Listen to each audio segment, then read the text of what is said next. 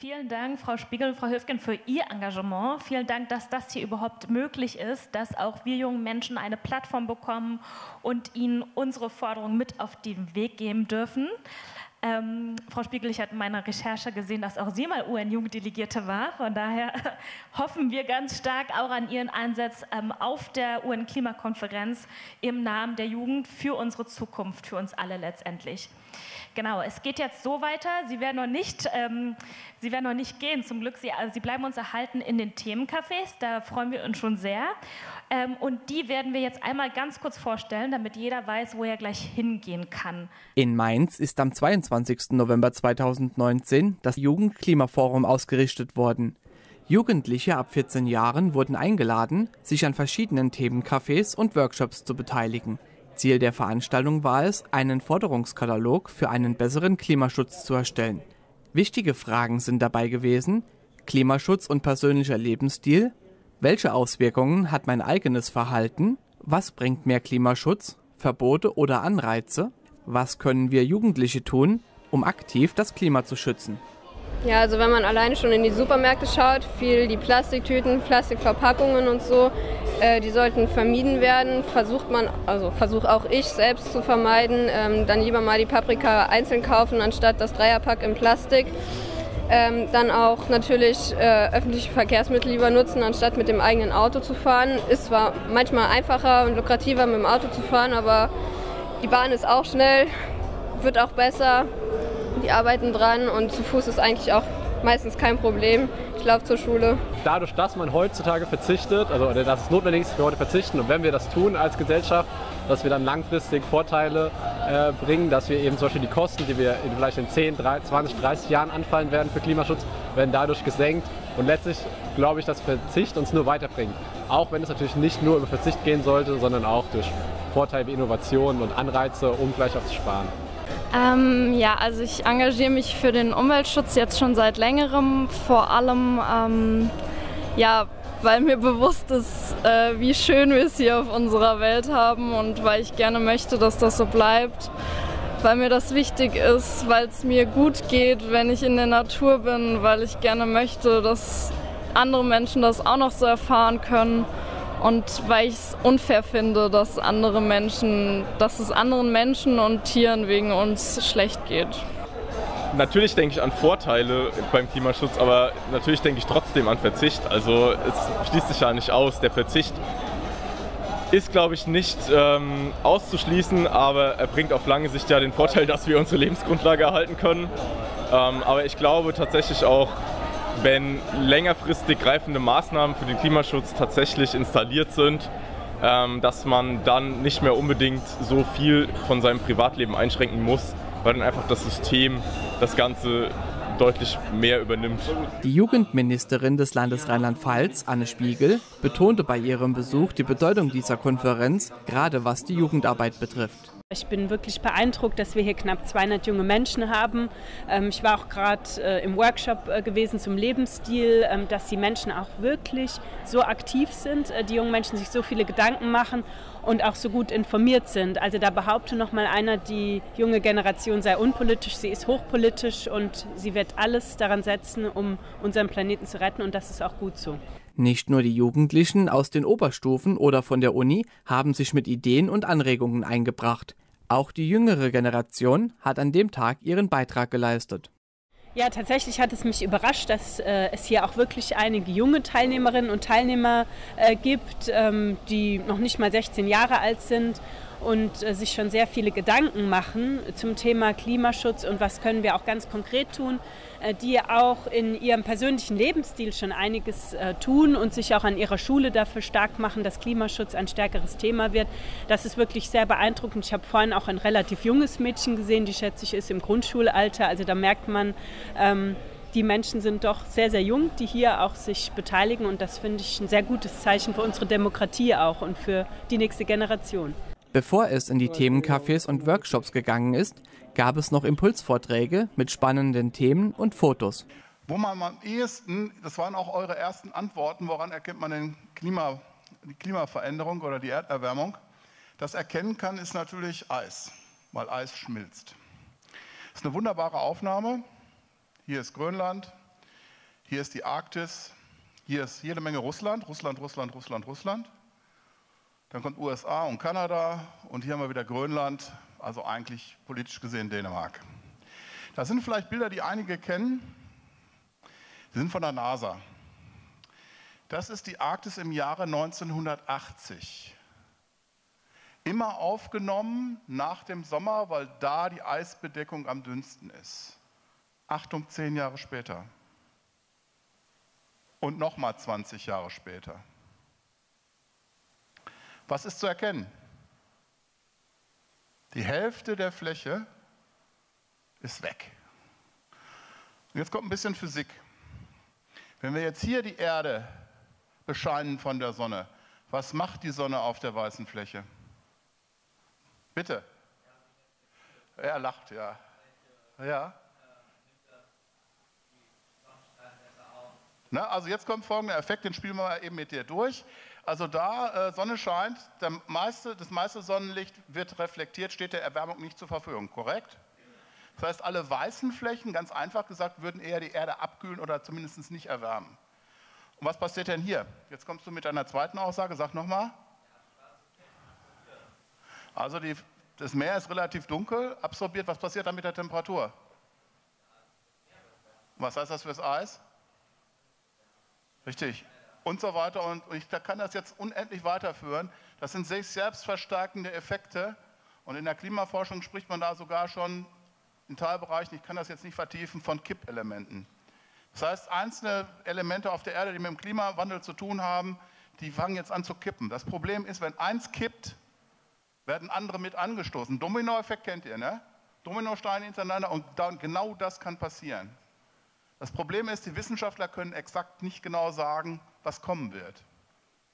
Und da kannst du auch mit Technik nicht viel machen, weil du kannst nur mit Technik auf Sachen reagieren, die du kennst. Und da werden neue Systeme angestoßen, die kennst du gar nicht. Jetzt gehen wir mal weiter. Das ist aber rein quantitativ die Darstellung. Und jetzt sage ich mal, jetzt habe ich euch eigentlich in die Irre geführt, so muss ich sagen.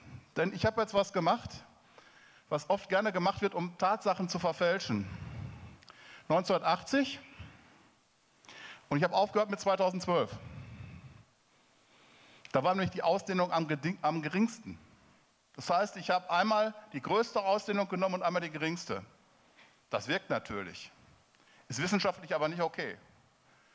Dazu habe ich jetzt ein 218er Bild genommen. Das passt jetzt vom, vom Maßstab nicht ganz, aber man kann sich es ungefähr vorstellen. Und da denkt man, oh, ist ja besser geworden.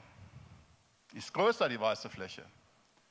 Aber da ist nicht die Quantität ausschlaggebend, sondern was kann man auch noch zeigen? Wenn ich von Quantität rede, Ganz einfach, bitte.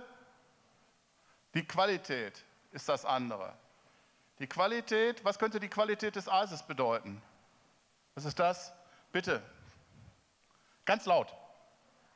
Die Dicke von der Eisschicht. Und die kannst du bestimmen über das Alter. Relativ einfach. Jetzt wirklich ganz runtergebrochen. Dickes Eis ist altes Eis, ist gutes Eis. Ganz einfach gesagt. Und ähm, jetzt zeige ich euch nochmal den Vergleich von, von vorher. 1980, weiß ist uraltes Eis, ganz dickes Eis. Grau ist junges Eis. Da kann kein Eisbär mehr drauf laufen, das ist zu dünn. 1980. Und jetzt kommt das vermeintlich bessere 2018er Bild. Achtung. Finde ich fast noch schlimmer als die quantitative Darstellung. Es kann sich ganz schlecht wieder neues Eis bilden. Da sieht man dann so Sachen wie Russland freut sich zurzeit wieder, die konnten das erste Mal im letzten Januar mit einem Schiff oben über die Arktis fahren, ohne dass sie einen Eisbrecher gebraucht haben. Die Industrie freut sich. Die verkürzen Wege und verkaufen einem das als, als Umweltschutz, weil der Weg ja viel kürzer ist. Ähm, möchte ich nicht weiter vertiefen, ähm, kann man am, ein anderes Mal drüber reden. Jetzt habt ihr alle gesagt, ich muss da ein bisschen äh, mal drauf eingehen. Die Arktis schmilzt und der Meeresspiegel steigt. Ich behaupte, das ist Quatsch. Wenn, der, wenn die Arktis schmilzt, steigt der Meeresspiegel um nicht einen einzigen Millimeter. Bitte.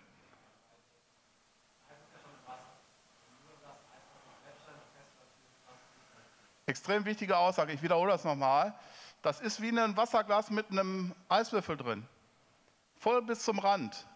Und ihr quatscht und ihr quatscht und ihr quatscht. Was macht der Eiswürfel? Löst sich auf Läuft das Glas über? Never ever. Würde ich das genauso machen und lege zwei Strohhalme drauf und mache das, das Glas bis oben hin voll und lege oben drauf den Eiswürfel und ihr quatscht. Der Eiswürfel schmilzt. Was passiert mit dem ersten Tropf? Tropfen? Das Glas läuft über. Das ist Festlandseis. Ganz, ganz wichtig. Wird in der Öffentlichkeit andauernd durcheinander gekloppt. Ja, muss man darauf hinweisen. Ähm, man spricht bis zum Ende des Jahrhunderts übrigens von einem Anstieg bis einen Meter. Vor einem Jahr, vor einem Jahr hat man noch mit 50 Zentimeter gerechnet. Denkt dran, was wir eben gesagt haben. Der Klimawandel wird schnell. Ja, weiter geht's. Wir sparen uns mal Grafiken. Wir sind in Alaska, weil das ist nicht nur ein lokales Problem, was wir da oben in der Arktis sehen, sondern weltweit. Eine Aufnahme von 1996. Hier ist die Eiskante des Gletschers. Hier unten ist der Maßstab, zwei Zentimeter. Wenn wir von dieser Eiskante gehen und gehen hier bis zu, zu dem Schriftzug, haben wir ungefähr 15 Zentimeter. 2, 4, 6, 8, 10, 12, 14, ja 15 wird ungefähr hinkommen. Achtung, 1996 und jetzt 2011, 25 Jahre. Nee, 15 Jahre, dann ist es ein 86er Bild, Entschuldigung. Und ihr seht, da war die Eiskante, die Eiskante ist jetzt hier, das sind vielleicht vier Kilometer in 25 Jahren. Und jetzt kommt das Bild 2011 bis 2018, das sind sieben Jahre. Das sind 25 Jahre und Achtung, das ist in sieben Jahren passiert, in den letzten. Wie wirkt das auf euch? Haben wir Zeit, was den Klimawandel angeht? Können wir immer noch sagen? Du sagst nein. Haben wir nicht mehr. Wir können nichts mehr nach hinten verschieben. Das heißt, wir müssen Druck machen. Ich muss mal auf Politik eingehen an der Stelle so ein bisschen. Da gibt es ja dieses Klimapaket der Bundesregierung, die gesagt haben, CO2 muss Geld kosten. Zehn Tonnen. Wenn dieses Klimapaket gekommen wäre im Jahre 1995, hätte ich gesagt, super Entscheidung. Wir haben aber 2019. Und die Wissenschaft redet seit 25 Jahren auf die Politik ein. Und deswegen gibt es so jemanden wie Greta, die sagt, ich habe die Nase voll, ich muss jetzt hier irgendwas tun. Ich kann nicht einfach sitzen bleiben. Deswegen seid ihr hier. Extrem wichtig. Wenn wir alten Säcke das nicht hinkriegen, dann müsst ihr gucken, dass ihr es hinkriegt. Und uns in den Hintern treten, damit es schneller geht und da was passiert. Dann ist es verdammt nochmal eure Zukunft, meine nicht mehr. Ich bin zwei Klima alt also 60. Man spricht immer beim Klima von 30 Jahren. Ne? Wenn man über das Klima redet, hat man immer einen Beobachtungszeitraum von 30. Ihr habt die ganze Sache vor euch, deswegen extrem wichtig, Argumente über diese Bilder zu kriegen. Wir gehen weiter. Die Jugendlichen haben sich für zwei Themencafés anmelden können. Dafür sind zweimal eineinhalb Stunden veranschlagt worden. Wer nicht nur in der Theorie Umweltschutz lernen wollte, konnte sich auch an den Praxisworkshops versuchen. Unter anderem ist der Kochbus Rheinland-Pfalz mit seinem Team vor Ort gewesen. Gezeigt wurde dort, wie klimafreundliches Kochen funktioniert. Am Ende der Veranstaltung haben die Jugendlichen ihre in den Themencafés ausgearbeiteten Forderungen vorgestellt. Ähm, also ja, wir haben uns mit den Klimawandelfolgen beschäftigt und daraus ein paar Forderungen abgeleitet. Ähm, zunächst ein, glaube ich, ganz großes Diskussionsthema war die Durchsetzung der CO2-Bepreisung die ja so jetzt eigentlich schon kommen soll im Rahmen des ähm, Bundesklimaschutzgesetzes. Aber ich glaube, wir sind uns alle einig, dass das so viel zu schwach ist und wir irgendeine deutlich adäquatere Form von CO2-Bepreisung brauchen. Das war der erste große Punkt. Ähm, dann gleichzeitig ein Ausbau von erneuerbaren Energien und der Energieeffizienz parallel zueinander. Ähm, und auch ganz wichtig im Bereich Mobilität, ähm, den Ausbau des ÖPNV entweder kostenlos oder in Form von 365-Tage-Ticket auf jeden Fall deutlich ähm, günstiger. Und ähm, natürlich, das Netz muss auch deutlich besser ausgebaut sein, dass es einfach angenehmer ist, den ÖPNV zu benutzen, anstatt das Auto. Ja, genau. Dann gab es noch die Idee, ähm, oder auch, was viele gesagt haben, eine Einführung von einem Plastikverbot oder zumindest eine Quote, die dann zum Beispiel bei medizinischen Produkten, dass da Ausnahmeregelungen natürlich sind, wo das no unbedingt notwendig ist, aber so weit wie möglich die meisten, vor allem Einwegverpackungen, ähm, quasi zu verbieten. Genau. Und dann gab es noch die Idee der Einführung von Klimaschutz als Schulfach, beziehungsweise es deutlich mehr in den äh, Lernplan zu äh, verankern. Genau. Das waren aus dem Thema sich so die größten Forderungen. Also wir haben insgesamt sieben Forderungen uns äh, überlegt. Ähm, die überschneiden sich eigentlich ziemlich mit denen von vorher. Wir haben äh, auch Ausbau von ÖPNV und äh, kostenlosen Nahverkehr und äh, so weiter. Dann, ähm, was hatte ich? Ah, genau.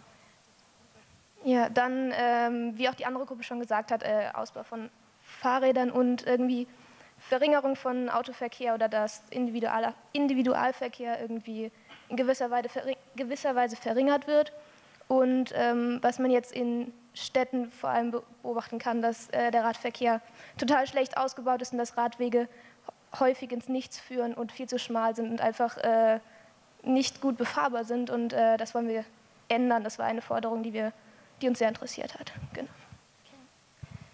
Okay, und wie die vorige vorige Gruppe auch, ähm, finden wir auch, dass Bildung sehr wichtig ist und vor allem junge Menschen aufgeklärt werden sollten, beispielsweise ähm, in Form eines Schulfachs oder auch eben dadurch, dass außerschulische Angebote verstärkt angeboten werden. Und dann haben wir noch, noch einen Punkt, und zwar, dass stärker gegen die Verschwendung von Lebensmitteln vorgegangen werden sollte, indem man eben die aktuellen Gesetze und Richtlinien ändert ähm, beispielsweise bezogen auf Lebensmittel, die nach Überschreiten des Mindesthaltbarkeitsdatums einfach im Müll landen oder einfach oder dass Lebensmittel, die einfach nicht schön aussehen, auch weggeworfen werden, obwohl sie noch essbar sind. Genau, und ich übernehme dann einfach mal den Rest. Ähm, eine Sache, die auch äh, sehr wichtig war den jungen Menschen in der Gruppe, war äh, Transparenz bei den Produkten, weil es ist wirklich so, äh, dass man erstens oft nicht weiß, wo kommen die Sachen her, was steckt drin, oder man muss dafür irgendwie erst ein Biochemiestudium absolviert haben, damit man das versteht. Ähm, und das ist die erste, genau das Blaue. Ähm, da steht ehrliche Produkttransparenz drunter, ist ein bisschen klein. Aber auch die ganzen Labels, ja, Bio, Fairtrade, mittlerweile gibt es ja ja auch in Discountern Bio- und Fairtrade-Produkte. Ähm, es ist total unübersichtlich, man weiß überhaupt nicht mehr, was kann man da glauben, ist es wirklich Bio? Ähm, da muss viel mehr Transparenz dahinter stehen und da muss eben auch so ein bisschen gegen Etikettenschwindel, also was heißt ein bisschen, da muss ziemlich gegen Etikettenschwindel und auch äh, gegen Greenwashing vorgegangen werden, weil natürlich will sich jedes Produkt von der besten Seite zeigen, beziehungsweise die Hersteller dahinter. Das ist sehr wichtig, damit man eben dann im Endeffekt äh, ja, dementsprechend auch handeln kann und dementsprechend sich entscheiden kann, was man kauft und was man nicht kauft. Dann, was hatten wir noch nicht? Ähm, genau, das eine, das äh, etwas kleinere hier, jetzt das dunkelblaue, da steht äh, aggressive Werbemaßnahmen stoppen. Gerade ähm, ja, unterbewusst werden wir ja irgendwie alle mit Werbung konfrontiert und beeinflusst.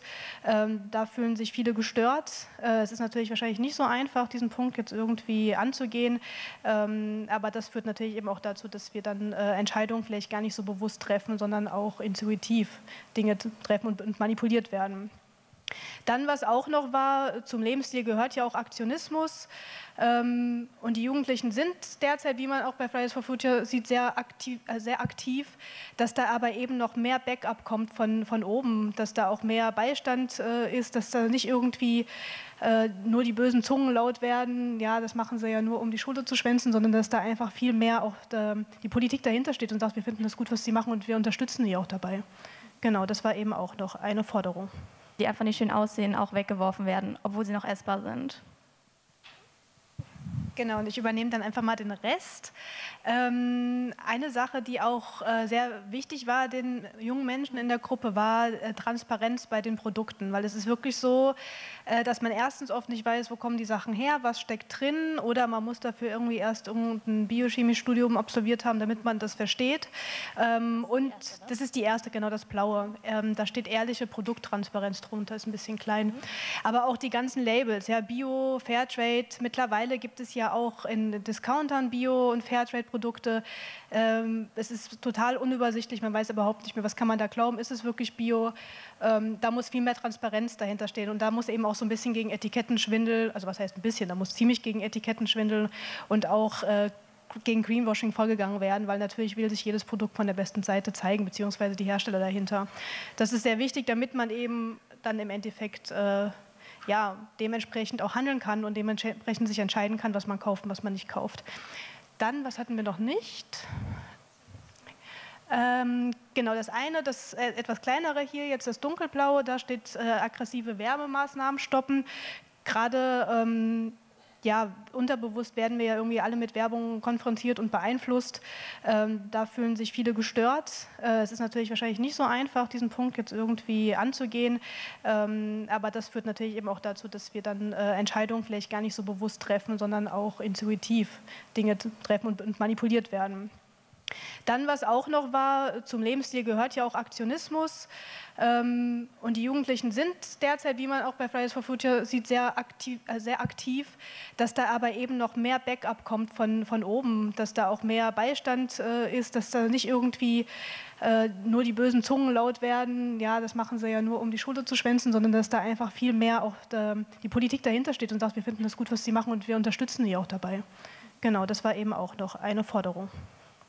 Super, okay. Ähm, Dankeschön, ihr habt im, ähm, nebenbei schon abgestimmt. Ähm, danke euch fürs Vorstellen, Dankeschön fürs Erstellen überhaupt. Ähm, und hier haben wir eine klare Tendenz. Interessant auch, dass hier wieder Mobilität eine große Rolle spielt. Aber die größte Abstimmung bekommt tatsächlich ehrliche Produkttransparenz. Junge Menschen wollen wissen, was sie kaufen und welche Konsequenzen ihr, ja, ihr Konsum letztendlich haben. Was kann man da politisch machen? Ja, also diese Forderung, die kann ich sehr gut mitnehmen. Äh, und natürlich gibt es verschiedene Anwendungsfelder. Ich habe gehört, ich soll mich doll beeilen und nicht so lange reden. Also ganz aktuell auch äh, im Bundesrat äh, das Thema Tierzeichnung, Tierhaltungskennzeichnung. Sehr entscheidend auch, was die Klimarelevanz angeht. Ja, und äh, hier sind wir in der intensiven Diskussion, dass wir tatsächlich dazu kommen, dass jeder von Ihnen erkennen kann, wie ein Tier gehalten wurde, also ob im Freiland oder in der Intensivhaltung, ohne Auslauf und so weiter und so fort.